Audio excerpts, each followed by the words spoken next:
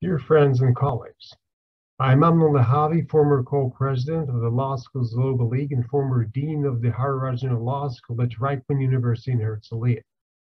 It is my privilege to greet you for the celebratory meeting in Brazil, marking the 10th anniversary of LSGL. I remember very well our first meeting in Sao Paulo in 2012. We took the first steps then, but it was obvious to me that this is going to be a great success. This was so because from the very first moments, the League was not only about being innovative and professional, but also about being inclusive and most importantly, about being good friends.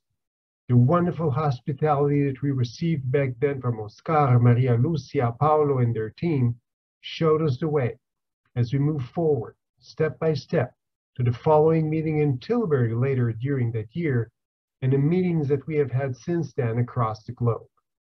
We had the privilege of hosting the LSGL meeting in Herzliya in the winter of 2018, and I was delighted to serve as co-president of the league between 2018 and 2021, together with my good friend Gonçalo Matias from Católica University in Lisbon.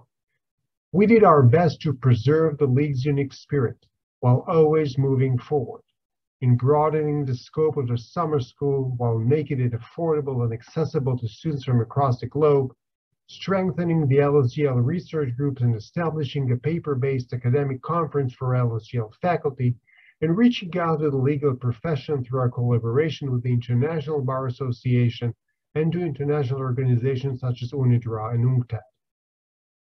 The League has proved its resilience during the pandemic, so we are definitely here to stay and grow further.